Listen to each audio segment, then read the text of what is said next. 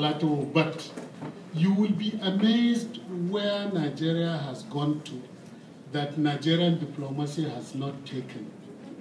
The film industry has taken Nigeria into almost every nook and cranny of this world. Uh, my permanent secretary, my permanent secretary went to Jamaica and entered a booker.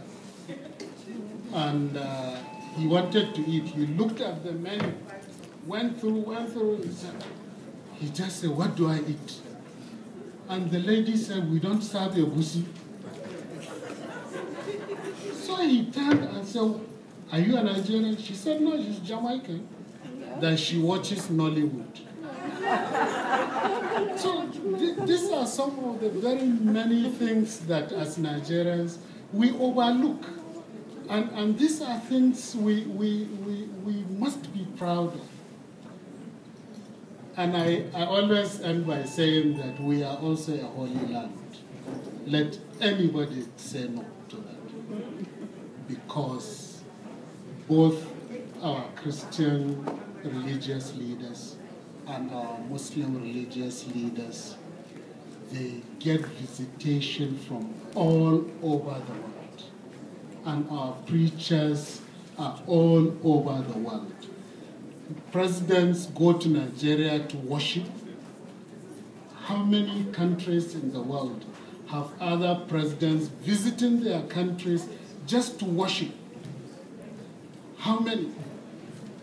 I have asked this question, except for Italy, which has the Pope. But tell me, how many countries, maybe Saudi, how many countries their land, their religious leaders attract presidents, prime ministers going to their churches and to their mosques to pray. So I tell people that we are, we are a holy land. So, so as Nigerians, I just uh, urge you, be proud. Never be put down by any of the negatives. Yeah, we have the negatives. We live with them. But we are not doing badly. So I want to apologize because I have to leave because we, we have a delegation from the Ministry of Foreign Affairs that um, I'm hosting. So I wish you all the best. I pray that this event will be much more successful than the previous one. I wish you all the best, ladies and gentlemen. Have a good.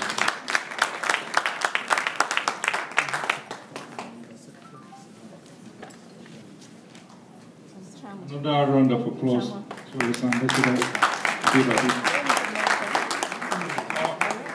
I want to take this opportunity to recognize our former Minister of Aviation, uh, Federal Republic of Nigeria, Ambassador Dr. Kema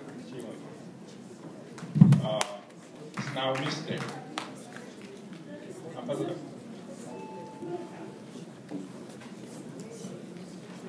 You're welcome, man.